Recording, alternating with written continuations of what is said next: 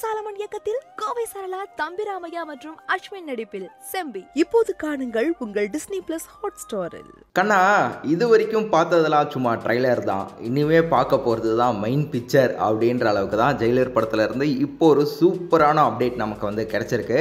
Nelson Dilip Kumar அவங்களுடைய இயக்கத்தில் Sun pictures அவங்களுடைய ப்ரொடக்ஷனில் நம்ம தலைவர் சூப்பர் ஸ்டார் ரஜினிகாந்த் அவர்கள் நடிச்சிட்டு இருக்க படம் தான் ஜெயிலர். ஸோ இந்த படத்துல இருந்து நிறைய அப்டேட்ஸ் அப்பப்போ வந்துட்டு இருந்தது இல்லையா? ஸோ அந்த வகையில் இப்போ வந்திருக்க அப்டேட் சும்மா தீயான ஒரு அப்டேட் அப்படின்னு தான் வந்து சொல்லி ஆகணும் அதாவது படத்தோட டீம் இன்னைக்கு வந்து பார்த்தீங்கன்னா ஒரு மிகப்பெரிய ஸ்டன் சீன் வந்து பார்த்தீங்கன்னா எடுக்க போகிறாங்களாம் இந்த ஸ்டன் சீனுக்காக நம்ம தலைவர் சூப்பர் ஸ்டார் ரஜினிகாந்த் அவர்கள் கிட்டத்தட்ட ஒரு வாரத்துக்கு மேலே வந்து ரிஹர்சல் மட்டுமே வந்து பண்ணியிருக்காராம் அப்போ பார்த்துக்கோங்களேன் எந்த அளவுக்கு ஒரு பயங்கரமான ஸ்டன் சீனை வந்து பிளான் பண்ணியிருப்பாங்க அப்படின்னு சொல்லிட்டு.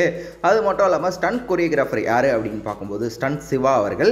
இவங்க ரீசெண்டாக ஒர்க் பண்ண படம் அப்படின்னா நம்ம பாலகிருஷ்ணா அவர்கள் நடித்த அக்கண்டா அப்படின்னு தான் சொல்லியாகணும். அது மட்டும் இல்லாமல் நம்ம உலகநாயகன் கமல் ஹாசன் அவர்கள் நடித்த வேட்டையாடு விளையாடு படத்துக்கும் இவங்க தான் வந்து ஸ்டன்ட் பண்ணியிருந்தாங்க.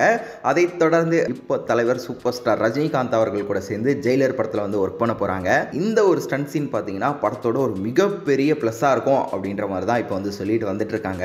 இதை கேட்கும் போதே சும்மா பயங்கரமாக இருக்குது அப்போ பார்க்கும்போது எப்படி இருக்கும் அப்படின்ற அளவுக்கு இப்போவே எக்ஸ்பெக்டேஷன் சும்மா எகுறுது அப்படின்னு தான் சொல்லணும். ஸோ வீடியோ பார்த்துட்டு இருக்க வியூவர்ஸ் நீங்கள் ஜெயிலர் படத்துக்காக எந்த அளவுக்கு காத்துட்ருக்கீங்க? அது மட்டும் இல்லாமல் இந்த ஒரு அப்டேட் பற்றி என்ன நினைக்கிறீங்க? அப்படின்றத மறக்காமல் என் கூட கமெண்ட் பாக்ஸில் வந்து ஷேர் பண்ணிக்கோங்க. மேலும் இந்த மாதிரி சினிமா உலகமில் நடக்கிற சுவாரஸ்யமான சினிமா அப்டேட்ஸை கேட்க தெரிஞ்சுக்க நம்மளுடைய சினி உலகம் சேனலை சப்ஸ்கிரைப் பண்ணிவிட்டு அப்படியே பக்கத்தில் இருக்கலையா அந்த பெல்லைக்கன் அதை அப்படியே தட்டி விட்ருங்க ஒரு பாயிண்ட் வந்தது.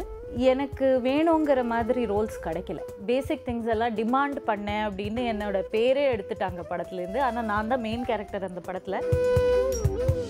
ஏதாவது எதிர்ப்புகள் சந்திச்சிருக்கீங்களா அதில்? எனக்கு வந்து ஃபஸ்ட்டு டைம் இவ்வளோ செக்ஸிசம் இருக்கா அப்படின்னு நான் வந்து ரியலைஸ் பண்ணது வந்து அப்போ தான் முப்பத்தஞ்சு வயசில் இந்த கெரியரில் வந்தாலும் ஆக்டராக வந்தாலும் நான் ஒரு நியூ கமர் தான். ஒரு செட்டில் வந்து வேறு எல்லாருக்கும் கிடைக்கிற ரெஸ்பெக்ட் இருக்கட்டும். அது வந்து எனக்கு இல்லைங்கிறது நான் ஜஸ்டிஃபை பண்ணிட்டேன்.